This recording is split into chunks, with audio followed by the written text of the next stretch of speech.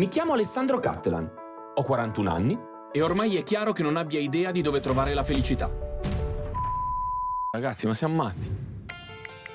Ho capito che non posso aspettare di seguire i miei sogni. Sono dei pezzi che ho fatto io. Ah, le fai tu? Sì. Quante ne hai? Non riesco a contarle. Eh, Roby, cosa fa? Adesso non gioca più a calcio. E niente, fa le anatre. tu sei religioso? Mi piace la religione cattolica. Io penso che sia una religione ben congegnata. Noi mangiamo kasher, non Sì. mischiare carne e latte. La mia regola è non mangiare animali di cui vedevi il cartone animato da piccolo. Urca. Io credo che la vita sia per il 20% quello che ti succede, ma per l'80% il modo in cui tu reagisci a quello che ti succede. Senti come ruggisce. Ecco. Forza ragazze, forza! Le sirene non dormono ragazze, forza!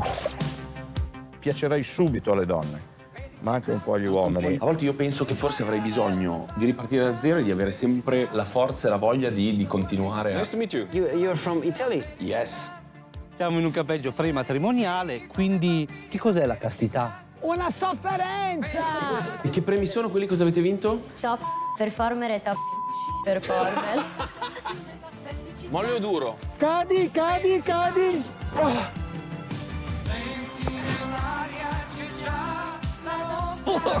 Ero convinto di sapere qualcosa sulla felicità. E allora perché mi ha messo in crisi quella che in fin dei conti è solo una semplice domanda? È più facile far finta di essere felice, triste o spaventato nei film? Eh, non lo so, devi chiedere agli attori, io non, non- non- non ci- non ci parlo.